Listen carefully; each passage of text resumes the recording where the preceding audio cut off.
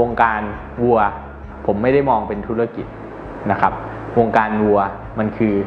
ผู้คนที่มาร่วมสร้างสรรค์สิ่งให้มันดีขึ้นดีขึ้นนะครับ แล้วก็พัฒนาให้มันดีขึ้นดีขึ้นไปด้วยกันเนี่ยคือสิ่งสำคัญที่เราจะต้องจัดงานเปิดบ้านไวแซเพื่อที่เราจะได้เจอเพื่อนนะครับ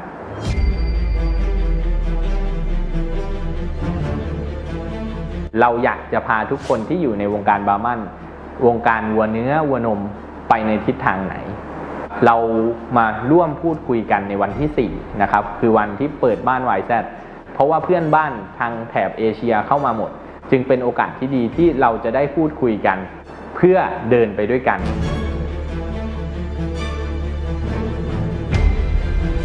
งานเปิดบ้านไวแซนะครับ ที่จะมีในวันที่ 4 กุมภา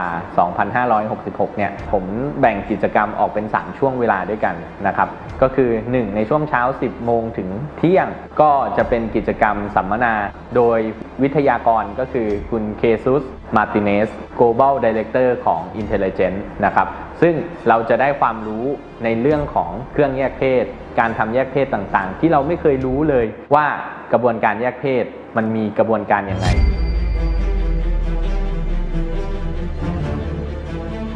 ในส่วนของช่วงเที่ยงถึงช่วงบ่ายโมงนะครับ ก็จะมีการกินข้าวนะครับ รับประทานอาหารฟรีตลอดงานนะครับ แต่ก็จะมีร้านค้าหมู่บ้านที่เราเชิญมาร่วมงานนะครับ ซึ่งเป็นการกระจายรายได้ให้กับคนในหมู่บ้านนะครับ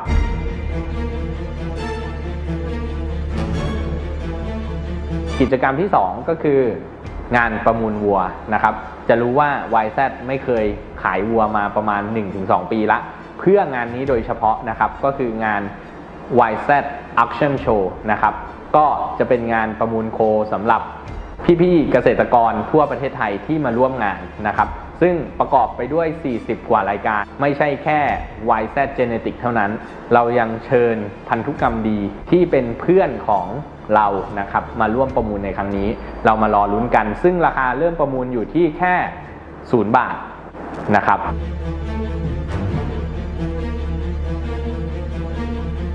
ในกิจกรรมที่3นะครับเป็นกิจกรรมสุดท้าย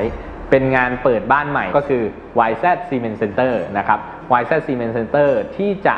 รวบรวมพันธุกรรมชั้นยอด ไม่ว่าจะเป็นวัวเนื้อวัวนมนะครับทุกสายพันธุ์ เราจะรวบรวมมาไว้ที่ YZ Cement Center เพื่อผลิตน้ำเชื้อ และกระจายไปยังเกษตรกรทั่วประเทศไทย รวมถึงเป้าหมายใหม่ที่เราต้องการก็คือในระดับเอเชียนะครับ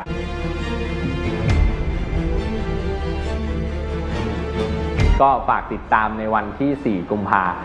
ผู้ที่มาร่วมงานเท่านั้นนะฮะ ที่จะรู้ว่าไฮไลท์เด็ดๆ คืออะไรนะครับ รู้อยู่แล้วฮะว่าระดับ YZ นะครับ ถ้าบอกว่ามีไฮไลท์เด็ดๆมันเด็ดแน่นะครับ